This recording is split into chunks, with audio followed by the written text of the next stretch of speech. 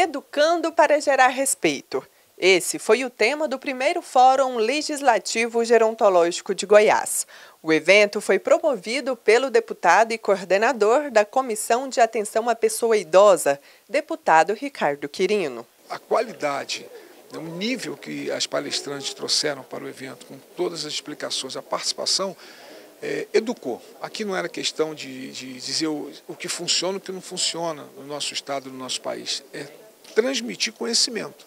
E a partir disso, as pessoas que aqui estiveram saem para suas casas, trabalhos, seus afazeres, levando aquilo que eles conheceram aqui, não que todos não conhecessem. Então, educar para gerar respeito. Estou muito feliz. Durante as palestras foram abordados temas sobre previdência social, a importância da inclusão do conteúdo gerontológico no ensino superior e as consequências do ageísmo para a saúde mental do idoso. Estou com 66 anos e eu sou ativa.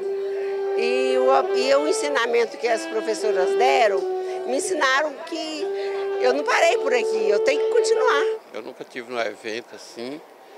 Agora, aqui hoje eu fui convidado, eu estou sentindo honrado por isso, viu?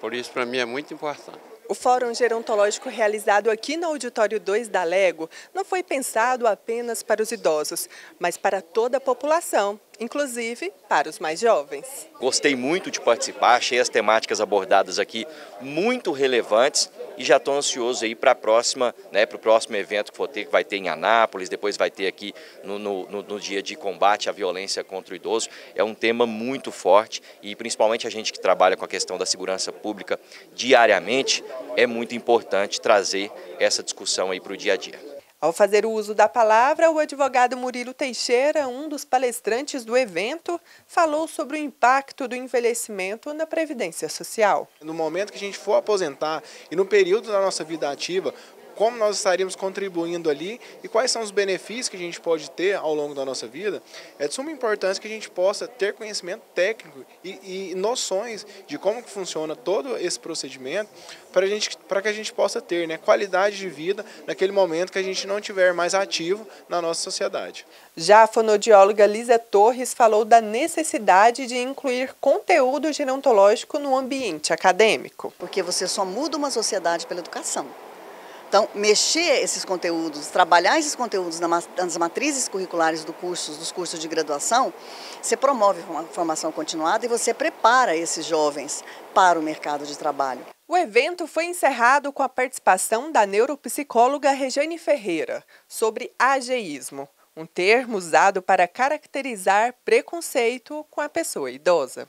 Toda vez que eu tenho ali uma atitude, um sentimento negativo em relação ao idoso, pode ter certeza, eu não estou falando do idoso, eu estou falando de mim, da minha dificuldade de lidar com o envelhecimento e eu acabo projetando isso e tendo atitudes tão uh, descabidas, né, e que inclusive precisam ser uh, punidas legalmente, porque nós temos que aprender a envelhecer bem, né, frente a toda essa sociedade. Um momento de aprendizagem, troca de experiências e conhecimento. Foi assim o primeiro Fórum Legislativo Gerontológico. E o deputado Quirino já adianta, terá outros. O próximo evento já está pré-marcado para Anápolis, a nossa cidade de Anápolis, e o terceiro para Lusiânia. Um na região metropolitana, o outro na região do entorno, e certamente o quarto será na região sudoeste. A gente vai flexibilizando, mas Anápolis nós já temos o próximo, o segundo Fórum Gerontológico Legislativo do Estado de Goiás.